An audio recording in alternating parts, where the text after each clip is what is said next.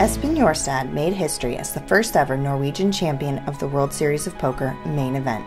He topped the second largest main event field ever to earn $10 million and his second bracelet. Card Player TV caught up with Jorstad at the 2023 WSOP to learn more about his year as the reigning main event champion.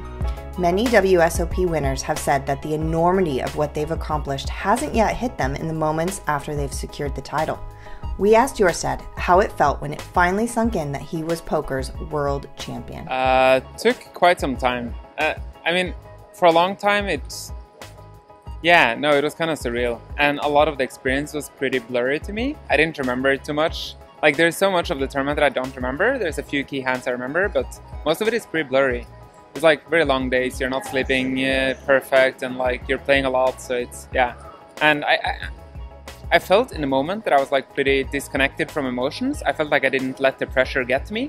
But looking back at it after, like there must have been some emotional pressure since so much of it is like blurry, forgotten, all of this, you know. So yeah, I don't know. I don't know if it's fully sunk in even. It's like yeah, I don't know. Jorstad also shared with us how he recovered from the marathon battle for the main event bracelet once it was all over. Uh, I did the worst recovery protocol you could do, which is party two days straight and then uh, catch up on sleep after that. Uh, so yeah, we went we went out for a couple of days, had like some nice dinners and uh, partied for a bit, and then um, then yeah, I yeah then it, it wasn't too much of a recovery period. I went straight to Florida after and played some high roller series there, and then traveled and played some more. So there was not really, I, I didn't really take any time to decompress right after, which I probably should have done to be fair. But yeah. The main event champion is often regarded as poker's ambassador for the year following their win. We asked Jorstad if he felt a responsibility to represent the game. Uh, so yeah, I think like as the main event winner, you probably should feel some responsibility.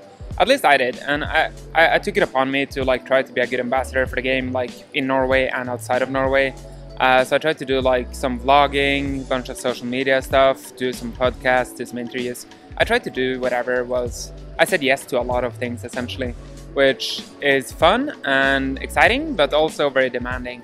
Um, so after half a year maybe, I uh, took off some of that responsibility. I stopped vlogging. I said no to a lot of interviews. I kind of like because I felt like doing all those things, I kind of wasn't able to do what I want to be doing, which is study and play a lot of poker and be a good poker player.